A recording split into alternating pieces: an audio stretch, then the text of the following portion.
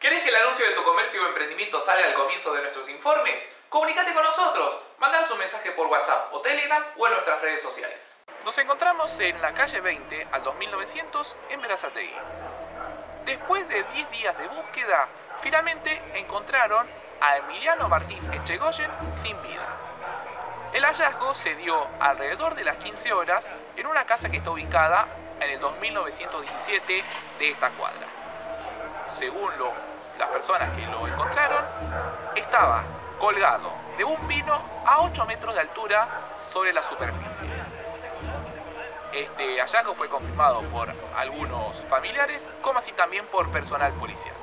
Se acercaron efectivos del SAME que constataron el deceso, como así también personal de bomberos voluntarios de Verazategui para retirar el cuerpo de las alturas.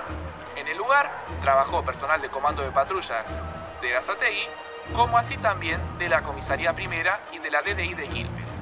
Además, se hizo presente policía científica que realizó el peritaje y retiró el cuerpo de Echegoyen cerca de las 19 horas.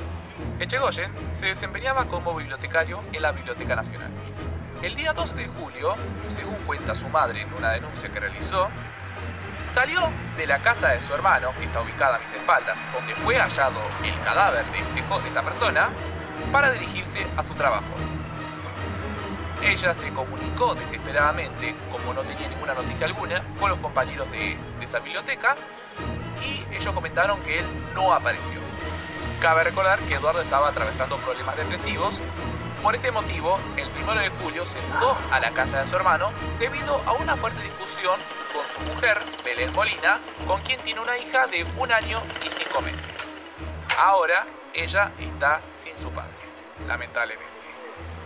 Ante versiones periodísticas que primero aseguraron que esta persona fue hallada, enterrada, cuando en realidad no lo fue así, uno de sus amigos, Pablo, salió a hablar con los medios que contó cómo fueron las cosas. Quiero aclarar y quiero hacer un pedido a los medios de, extrema responsabilidad para respetar el dolor de la familia. La verdad que estamos en un momento que pensábamos que con todo el amor que buscamos a Emi, que no íbamos a atravesar. Entonces la responsabilidad que le pedimos, yo soy Pablo, soy amigo de la familia, compañero de trabajo de Eduardo de la Biblioteca Nacional, compañero de Emiliano Echegoyen de la Biblioteca Nacional. Hubo medios que estuvieron diciendo que el cuerpo de Emiliano estaba enterrado en la casa, les pido por favor que seamos respetuosos con la familia. La autopsia va a determinar el cuerpo de Emiliano apareció colgado en el pino de fondo de la casa, a mucha altura, y me parece que tenemos que dejar actuar la justicia.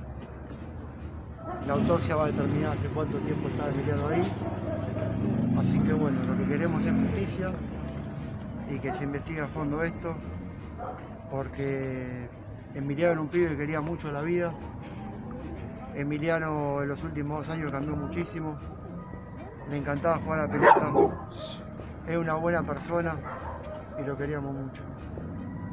Pablo, ¿cómo, cómo, cómo ¿Quién lo encuentra Emiliano?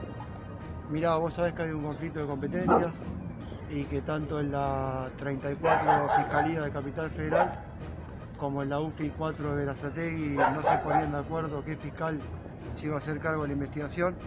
Entonces, bueno, como todas estas noches, los amigos de la familia nos quedamos a dormir con ellos para estar bien cerca. Y hoy, después de hacer unas notas a la mañana, en hora de mediodía, eh, un grupo fue para la Fiscalía de Capital, otro grupo fue para la Fiscalía de Verazategui. Los chicos volvieron a la casa. Eduardo le pidió a un amigo que vaya a buscar limones, que hay un limonero en el fondo de la casa. Y, y lo encontró Emiliano. La edición dramática creo que estaba en una de las hipótesis que manejábamos.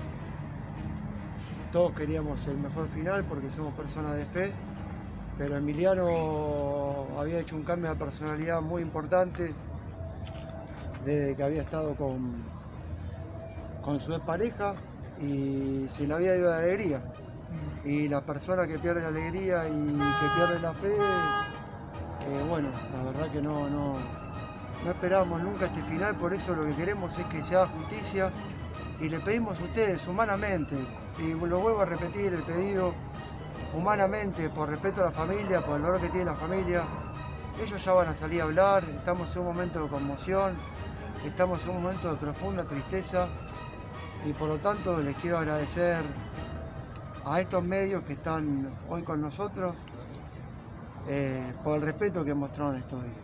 Por eso nosotros queríamos, queríamos ahí hablar justamente para, para decirles que hoy no van a tener más testimonio que este, que es un momento de oscuridad y que es un momento de, apagar las cámaras y de volver a las casas. Y después ser paciente que la familia va, va a hablar y deseamos que Emiliano descanse en paz. Tranquilo. Flaco.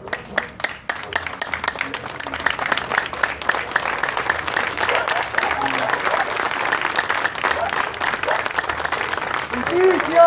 ¡Justicia! ¡Justicia! ¡Queremos justicia!